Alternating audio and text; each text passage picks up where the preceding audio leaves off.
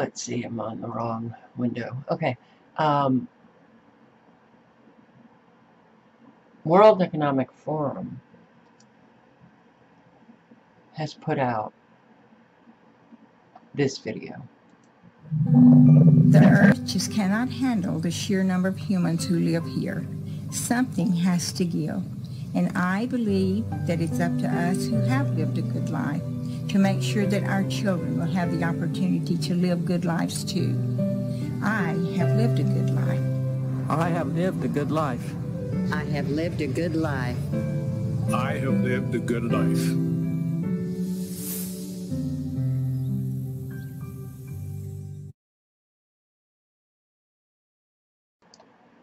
The inference to be made is that I've lived a good life and now it's time for me to go.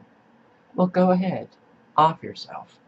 Christine Lagarde, International Monetary Fund, when, when she was you know, the president of uh, the International Monetary Fund.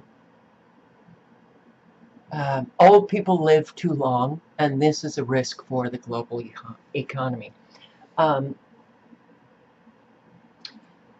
it's all coming together. It's all coming together very nicely. Now, this, and I will link to this article, Event 202, What Are Smallpox Pandemic Simulations Foreshadowing? Smallpox pandemic simulations? Well, there's one that was held. Uh, ministers to take part in pandemic exercise in Germany simulating a fast-spreading and dangerous outbreak of a smallpox virus originating from leopards. Smallpox. Smallpox, genetically very similar to monkeypox.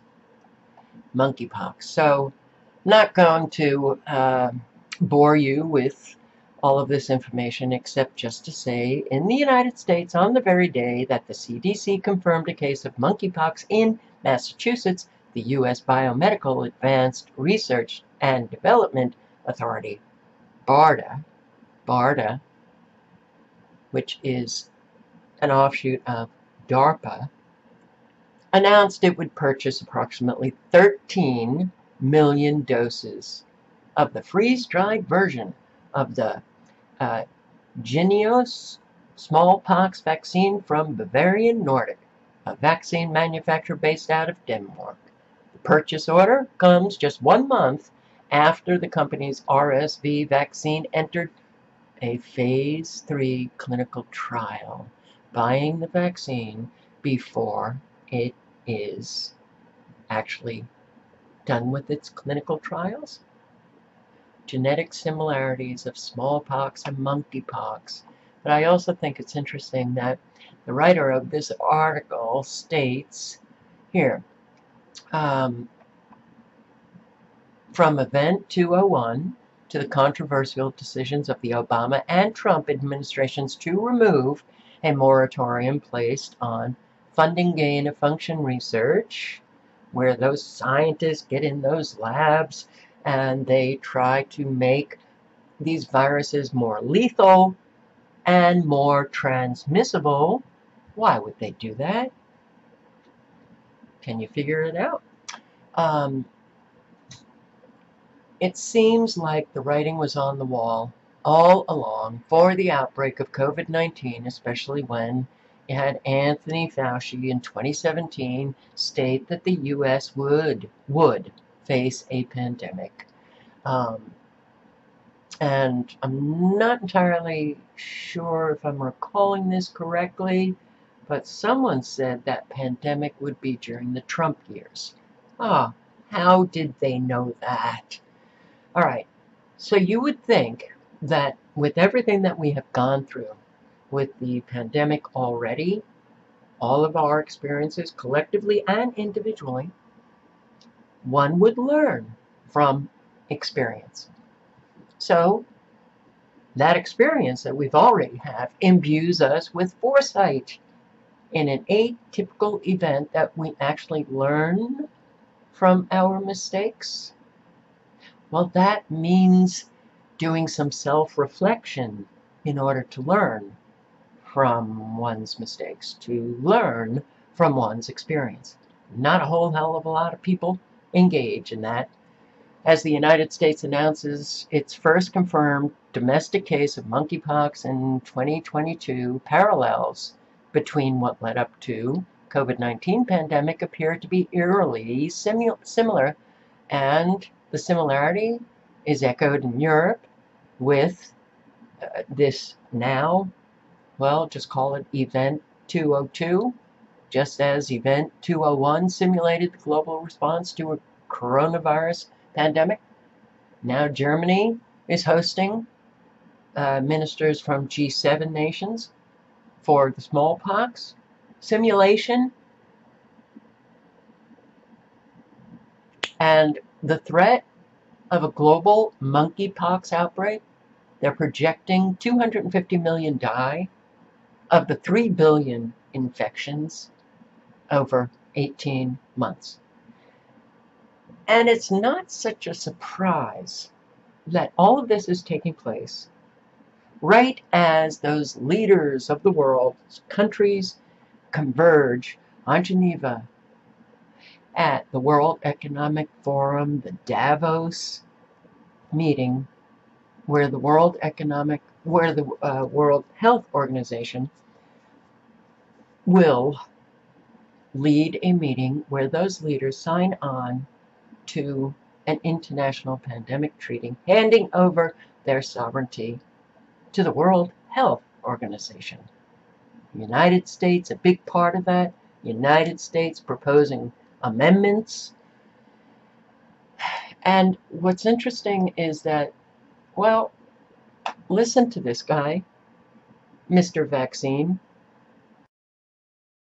It wasn't until early February when I was in a meeting that experts at the foundation said, there's no way, you know, this, there's been too much uh, travel without diagnosis uh, for us to contain this. And then at that point, we didn't really understand the fatality rate. You know, we didn't understand that it's a fairly low fatality rate and that it's a disease mainly of the elderly, kind of like flu is, although a bit different than that.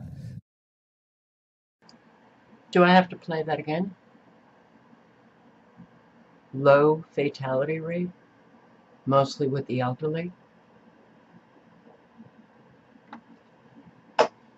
They do come out and speak the truth, and I do believe that they do this to see what the reaction will be, to see if they can pull off yet. Oh, we have another wave coming, so New Yorkers, get those masks on, get boosted. So what do people do with this information? Can it even, can they even, you know, absorb it into their brains and consider it at all? I don't know at this point. But we're in big trouble because now we have this monkeypox, genetically similar to smallpox. And remember, November 2021, Bill Gates warns of smallpox terror attacks as he seeks research funds. Give me more money. It's not a coincidence.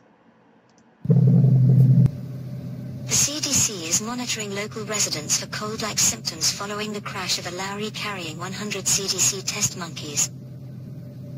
A truck and trailer carrying about 100 monkeys collided with a dump truck Friday afternoon along Route 54 just off Interstate 80 near Danville, Pennsylvania.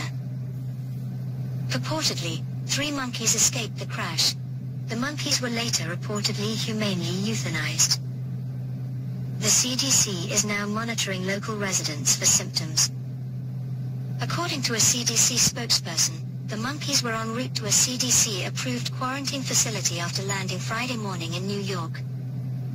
They are originally from Mauritius, a country in Eastern Africa. What a coincidence how this might play into what we are now seeing. World Health Organization to convene emergency meeting over monkeypox outbreak. Huh. In Geneva. How has monkeypox spread all over the globe at lightning speed? Well, of course, they can just lie, right? And they can just ooh, put out those statistics that scare the shit out of adults all over the world. Oh my God, oh my God. Um, or it could be true. But it's always been known that monkeypox does not spread easily between human beings. And now it is. Oh, wow. How'd they do that? Maybe that gain of function research? World Health Organization. Yeah, it's true. World Health Organization reportedly convening emergency meeting on monkeypox. Republicans, Democrats, it don't matter. Scott Gottlieb, um, Gottlieb a FDA secretary appointed by Trump, but uh, had to step down because of his corruption. Well, look, it could be dangerous. Um, you know, the case fatality rate for the particular strain that seems to be spreading is anywhere from 1 to 4 percent. is particularly dangerous in, in immune-compromised individuals, people who are vulnerable. Um, it's also, you know, sort of a disabling virus. It can last two to four months. Um, you know, you get, you get fever, lymphadenopathy in the sort of prodrome phase, the lead-up phase.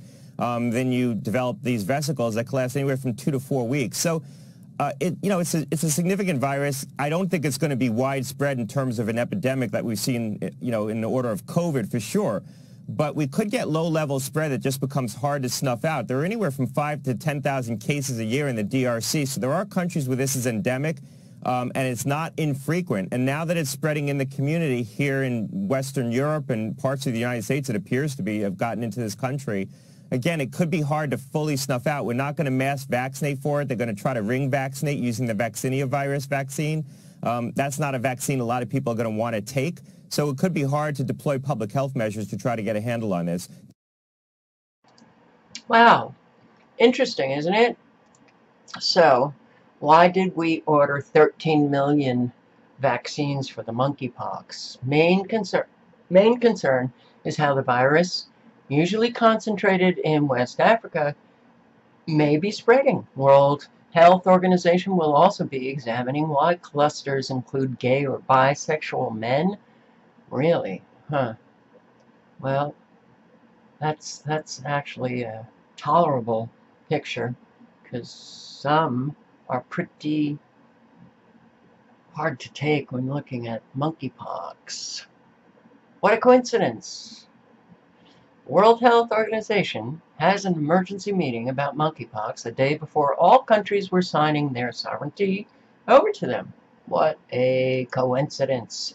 And Tedros, he's upset because there's a small minority group that are talking about this pandemic treaty and they ain't talking about what he wants them to talk about.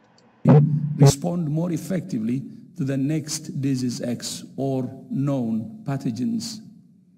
Unfortunately, there has been a small minority of groups making misleading statements and purposefully distorting facts.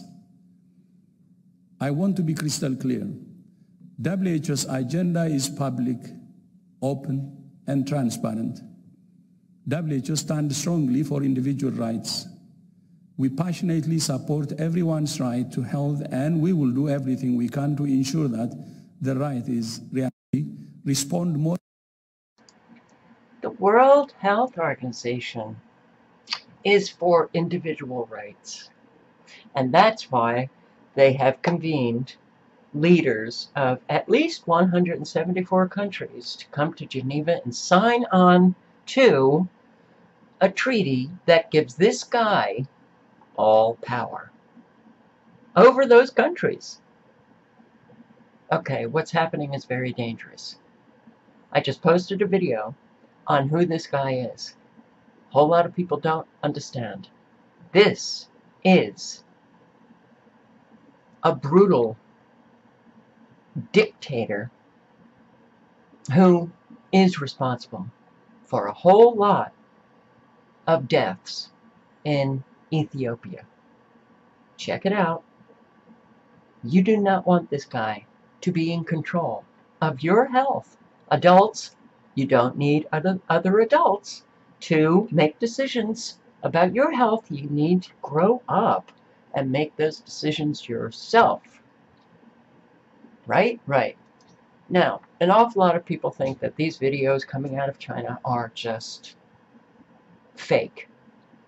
I don't think so.